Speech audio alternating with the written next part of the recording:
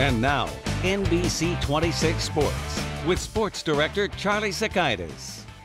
Welcome back to the show. Some of the drama for the ladies of UWGB was removed prior to today because they knew via winning the Horizon League Conference tournament that they had earned an automatic bid into the NCAAs. But who they'd play, where they'd play, that was still a mystery. And here's the reaction they had when their name finally showed up on Selection Monday. Amount of respect for the 27 and 5 season that they put together this year. Green Bay will be an 8 seed in the tournament where they will face Purdue, a 9 seed, and this one is regionally close. The round 1 game will be contested at Notre Dame in South Bend, Indiana. The team and staff will get to work tomorrow, but today, even through all the nerves, the ladies seem to think it was pretty fun.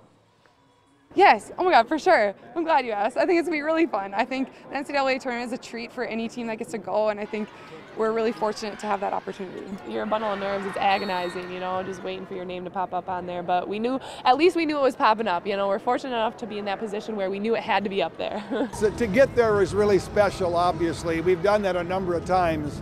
And a couple of our teams have advanced beyond that first round. And it's a very difficult thing to do. I don't know how many people realize how difficult that is, but certainly it's attainable. Every time we step on the court, we're able to do that. We're just going to put all the pieces together because Purdue's a very good team.